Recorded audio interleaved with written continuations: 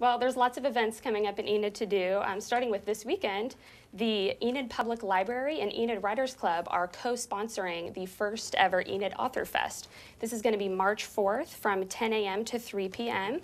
More than 40 authors with Oklahoma ties will be there selling and signing their books.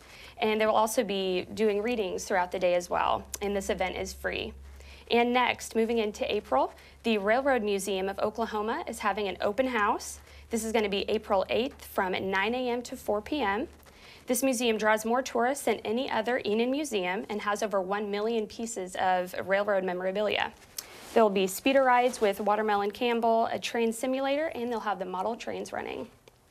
And lastly, Gaslight Theater is putting on a production of To Kill a Mockingbird, the drama adapted by the novel that was written in 1960 and a year later would win the Pulitzer Prize for Fiction after being on the bestseller list for more than 40 weeks. So they're going to have this show May 5th through the 7th and 11th through the 13th. You can get your tickets for that at gaslighttheater.org.